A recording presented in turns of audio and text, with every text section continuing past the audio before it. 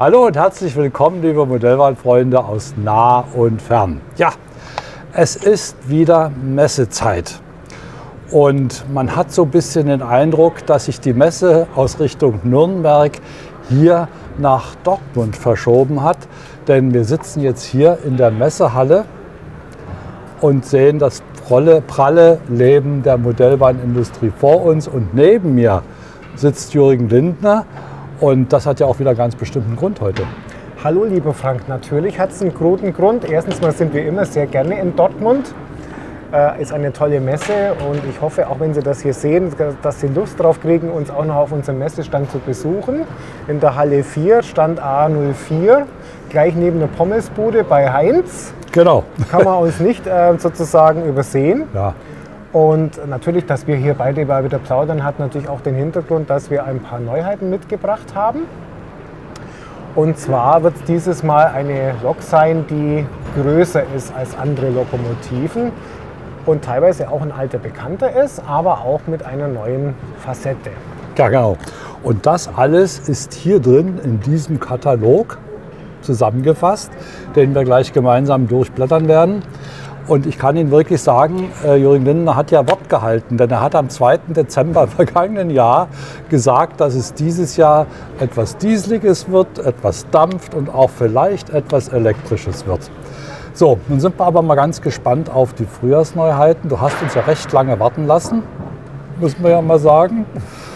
Was hatte das für Gründe? Immer noch Lieferschwierigkeiten mit China? Nun ja, ähm, ich möchte eigentlich äh, im Prinzip alle, alle drei Monate, also quasi jedes Quartal eine Neuheit sozusagen auf die Menschheit, den Modellbahner loslassen. Äh, wir haben ja angefangen im Januar mit diesen neuen Farb- und Formvarianten der äh, KG 230. Und jetzt sind wir im April, also genau, ziemlich genau drei Monate später. Und anlässlich Dortmund, was immer eine gute ähm, sozusagen Sache ist, ja. habe ich beschlossen, dass wir wieder was Dieseliges vom Stapel lassen nämlich äh, eine Wiederauflage der Class 66, Class 77. Genau. Und darauf freue ich mich auch schon ganz besonders, muss ich sagen, weil das ist ja wirklich eine Groß, eine Groß-Diesel-Hammerlok. Denn wenn die losbrüllt, die hat ja so einen, einen Moment, denn ich durfte sie ja selbst schon voriges Jahr filmen bei der MEG in Berlin. Äh, wenn die losfahren, die haben so einen, einen, einen tiefen Sound, das ist schon unglaublich, kraftstrotzend, sag ich mal. So, von diesen Class 66 wird es eine oder wird es ein paar Nachauflagen geben von Modellen, ja. die schon da waren. Genau, also wir werden in dem Moment, wenn Sie das sehen, nicht weniger als zehn verschiedene Varianten wieder im Lager haben. Zehn Stück. Ja, Full Hand, wie man so schön sagt. Genau. Drei davon sind wieder Auflagen, die wir machen wollten, weil eben so viel Nachfrage da war. Und zwar einmal die CargoNet, die halt in Skandinavien unterwegs ist. Dann die Lineas, die vorwiegend in Benelux eben unterwegs ist. Und die Hector Rail. Und das waren die Loks, die am meisten nachgefragt waren. Sagen wir mal so, beim letzten Mal bei der Produktion haben wir die Nachfrage etwas unterschätzt und es hat nicht jeder eine abgekriegt. Und äh, wir wollten dem natürlich abhelfen. Also wir wollen definitiv keine künstliche Verknappung von Lokomotiven. Manchmal liegen wir halt einfach mit unserer Schätzung so weit daneben, dass wir dann sagen müssen, okay, beim nächsten Mal produzieren wir die wieder nach, damit jeder die Chance hat, eine zu kriegen. Mhm. So, von diesen Nachproduktionen werden dann auch ausreichend zur Verfügung sein, denke ich mal, sodass jeder seine Lok kriegen kann das ist quasi unser Bestreben. Wir wollen, wie gesagt, dass jeder, der eine Lok haben will, auch mhm. eine kriegen kann. Ich denke schon, dass genügend da sind und ähm, wie gesagt, sind auch schon produziert mhm. und bei uns in Neu-Ulm im Lager. Also CargoNet im hohen Norden fangen wir an. Mit Lineas tun wir uns dann in Richtung Mitteldeutschland oder in die Mitte Deutschlands vorarbeiten von den Eisenbahnunternehmen. Und ja, und die Hectorail ist ja eine typische ja, Firmenbezeichnung, das sieht man auch manchmal in E-Loks, vor allen Dingen im Norden, ja. die ja grenzüberschreitend fahren. Also Hectorail ist ja eigentlich ein schwedisches Unternehmen, aber mittlerweile auch in Deutschland zu Hause. Genau.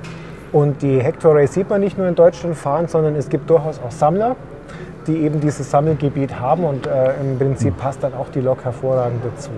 Also für Sammler und für die, die also auf ihren Anlagen hauptsächlich in der Epoche 6 unterwegs sind. Ähm, es ist ja ein schönes farbiges Bild mittlerweile, nicht nur draußen auf den Gleisen, sondern zum Glück ist es auf den Gleisen farbig geworden, sodass Jürgen, du also diese Loks produzieren kannst für uns Modellbahner zur Freude. Ja, die Farben sind natürlich sehr unterschiedlich und äh, ich hoffe, dass für jeden was dabei ist. Mir persönlich äh, gefällt es sehr gut, dass man da ein bisschen Abwechslung reinkriegt. Mhm. Und äh, insofern haben wir dann eben auch neben diesen drei identischen Wiederauflagen, also es gibt keine Änderung zur letzten Produktion, auch noch an einige andere Loks neu gemacht, nämlich vier Stück. Mhm. Da ist es dann so, da gab es noch andere Nummern, also die ähm, quasi sind die Wiederauflagen, ich fange jetzt einfach mal an, die MEG hast du schon erwähnt, genau. die hatten wir schon mal. Die wird es wiedergeben, aber mit einer anderen Betriebsnummer. Mhm. Das gleiche gilt für die graue ECR, die auch in Süddeutschland, auch in Mühldorfer Ecke immer noch unterwegs sind. Mhm. Auch die hatten wir schon mit verschiedenen Betriebsnummern und jetzt gibt es wieder eine neue Betriebsnummer. Und das gleiche gilt eben auch für die HGK und die Crossrail. Genau. Das heißt, jemand, der sozusagen das Sammelgebiet HGK sozusagen bearbeitet, kann jetzt wieder eine HGK Class 77, 66 von ESO kaufen mit einer unterschiedlichen Betriebsnummer. Das nenne ich doch mal gut gemacht, würde ich sagen.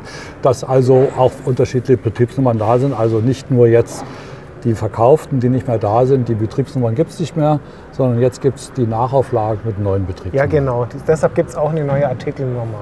Bei ESO ist es immer so, wenn es eine neue Artikelnummer gibt, dann ist in der Regel also auch die Betriebsnummer, Betriebsnummer anders. Beziehungsweise manchmal auch eine kleine dazu passende Formänderung. Mhm. Das ist nicht unbedingt immer gesagt, dass die exakt gleich sind. Apropos Formänderung, es ist ja auch tatsächlich so, dass jede Lok mit einer mit den, mit den unterschiedlichen Betriebsnummern unterwegs ist, aber auch in den Formen sehr unterschiedlich vom Betreiber her. Das sieht man ja vor, vor allen Dingen am Dachaufbau bzw. an der Front, an der Spitze der Lok. Genau, also die Class 66, 77 gibt es in unterschiedlichsten Ausführungen.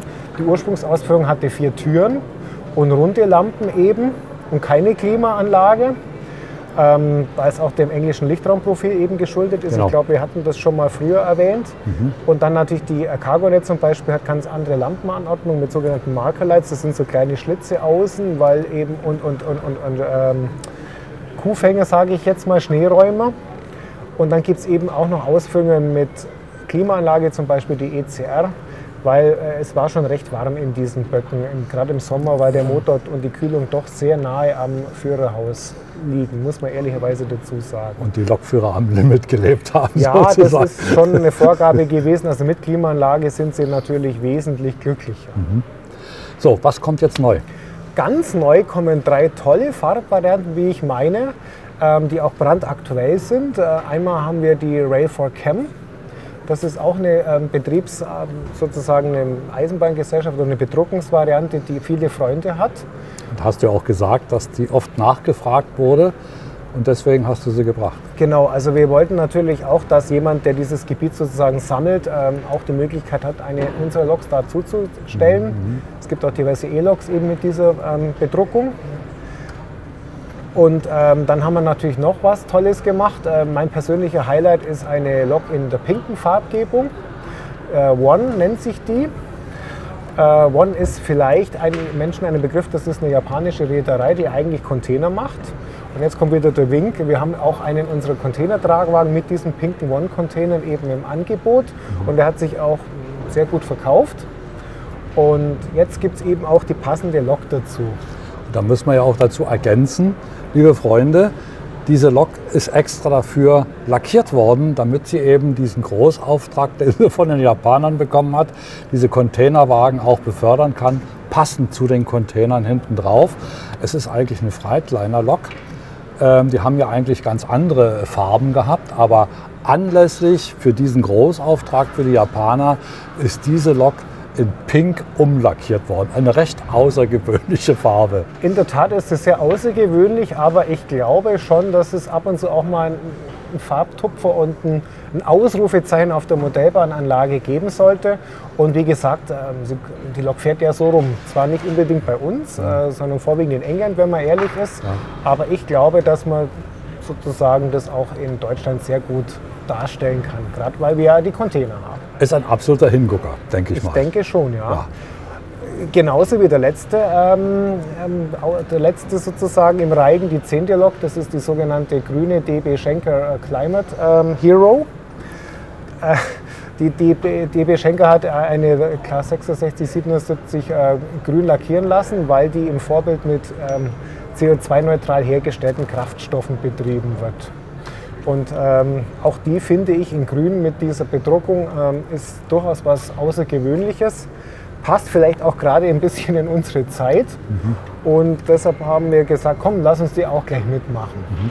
Die ist jetzt von der Menge her nicht so in Riesenmengen produziert worden. Also wenn sich für die jemand interessiert, sollte er nicht so lange warten. Nur so als Wink mit dem Zaunpfahl. Es gibt ja auch Sammler, die ausgesprochen auf Werbeloks scharf sind und auch auf bestimmte Designs scharf sind oder auch immer wieder was Neues scharf sind. Und ich glaube, da ist diese Lok hervorragend geeignet dafür. Also ich denke schon. Ich bin eigentlich immer wieder ähm, sozusagen erfreut, wenn ich diese Class 66 und 77 angucke bei uns, weil die einfach erstens mal ein gro großes Lokmodell sind. Sie klingen gut, äh, die Funktionen sind alle wunderschön ausgeführt, aber auch mit diesen unterschiedlichsten Farbvarianten ist es einfach ein Hingucker. Mhm. Und wie gesagt, alle zehn Varianten sind lieferbar. Kann man sofort sozusagen im Laden seines Vertrauens eben bestellen oder sich angucken bei uns ja. auf der Messe in Dortmund und dann zuschlagen. Da freuen wir uns natürlich alle, wenn Sie in den nächsten drei Tagen hier vorbeischauen, mhm. würde ich sagen. Und da sehen Sie natürlich die Loks alle live hier und vielleicht erwischen Sie uns auch mal hier zum Gespräch. Ich denke, das sollte auch funktionieren. Ja, sehr gerne. Wir sind ja auch hier auf den Messen, um Rede und Antwort zu ja. stehen. Und ähm, gibt keine dummen Fragen höchstens dumme Antworten. Höchstens dumme aber wir versuchen natürlich auch vernünftige Antworten ja, zu geben. Eines klar. Ähm, es ist ja, wie gesagt, schon, um das abzuschließen, das Thema mit der roten äh, DB Schenker. Äh, sie war ja immer rot bisher. Jetzt fährt sie. Ja, liebe Zuschauer, das ist halt, wenn man sowas auf der Messe filmt. Ja, jetzt ist gerade ein Auto hier vor, also ein irgendein Containertransporter vorbeigefahren. Okay, also nochmal, äh, es ist wirklich ein anderer Farbtupfer, diese DB Schenker. Äh, denn äh, die waren ja sonst immer in dem langweiligen Verkehrsrot. ja, denke ich mal. Nun muss ich auch dazu sagen, liebe Freunde, ich habe mich ja auch noch mal mit der Technik dieser Lokomotiven befasst und äh, habe festgestellt, dass sie 30 digitale Funktionen abrufen dürfen ja, an dieser Lok muss ich jetzt mal fragen. Ähm, es gibt da ein paar Features, die waren für mich neu. Zum Beispiel das Hochschalten des Diesels. Ja, das ist jetzt natürlich etwas, was speziell dieser amerikanischen Ursprungsausführung geschuldet ist. Diese ähm, amerikanischen Lokomotiven sind ja dieselelektrisch und äh, haben im Prinzip eine andere Schaltung. Das heißt, sie haben acht Notches, wie man sagt auf amerikanisch, also quasi Drehzahlstufen die dann eben je nachdem, was für eine Last eben abgerufen wird, äh, entsprechend von der Motorsteuerung eben aufgerufen werden. Und dann gibt es eben auch noch zum Abstellen, weil im Original werden die selten äh, ausgeschaltet, gerade in den USA. Und es basiert ja auf einem amerikanischen Lokmodell. Damit man dann Sprit spart, gibt es einen sogenannten Deep Idle. Das heißt, die Drehzahl wird noch mal weiter runtergefahren wie normal. Quasi gerade so, dass der Motor noch läuft. Und ähm, wir sind, können das natürlich auch entsprechend simulieren bei uns im Lochmodell. Das kann ich Ihnen versichern, liebe Freunde. Äh, wenn, man da, wenn man das auf der Anlage selbst mal probiert, und ich habe es hier ausprobiert, es ist unglaublich, dass eine Lok im Stand, das ist ja ein Zweitakt-Diesel, ja. noch langsamer laufen kann. Äh, man kann also die Zylinder einzeln mitzählen, wie sie laufen. Das ist eigentlich schon unglaublich.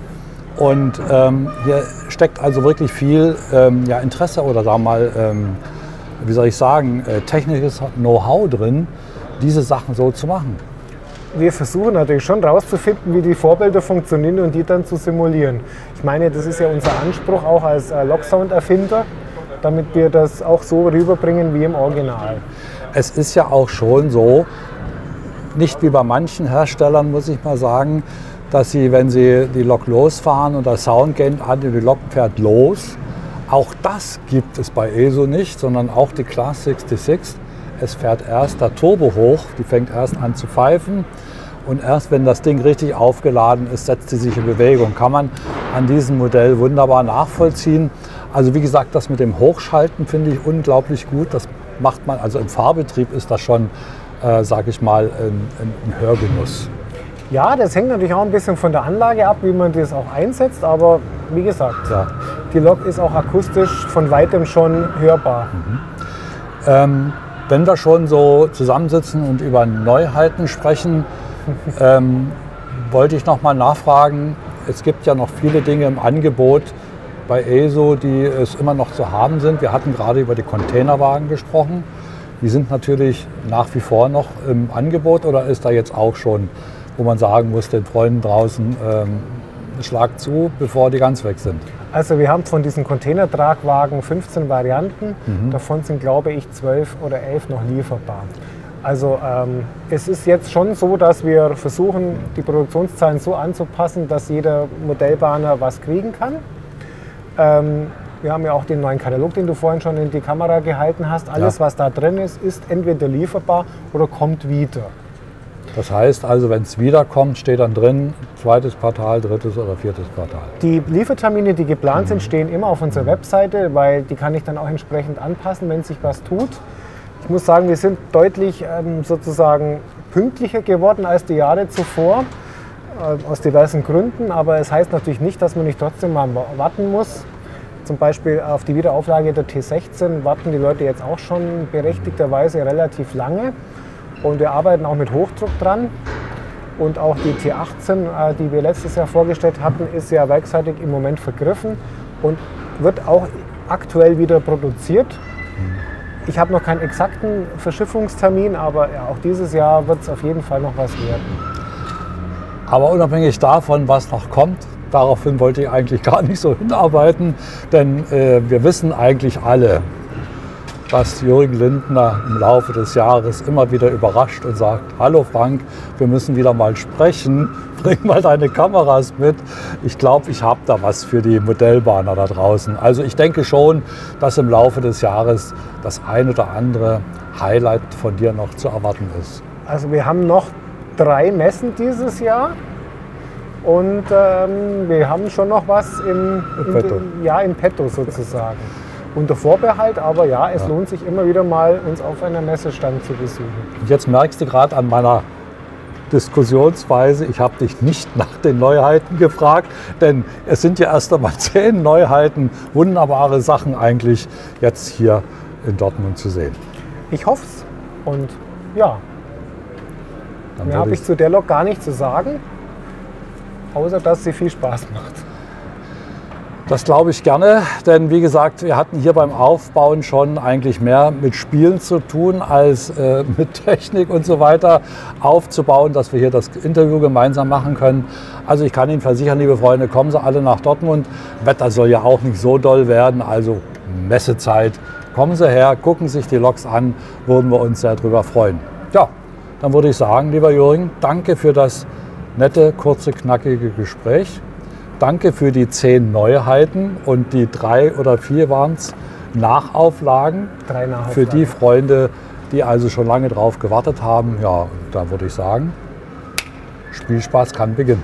Vielen Dank und viel Sinne. Spaß in diesem Sinne. Bis zum nächsten Mal. Ja, das war's, liebe Freunde, hier von der Messe in Dortmund. Ja, und wir sehen uns wieder demnächst, wenn Sie mögen, auf gleicher Welle und Kanal. Und da verspreche ich Ihnen auch einen Log-Test. Ich habe mir schon eine ausgesucht. Mhm. Da bin ich also gespannt. dann, tschüss. Tschüss.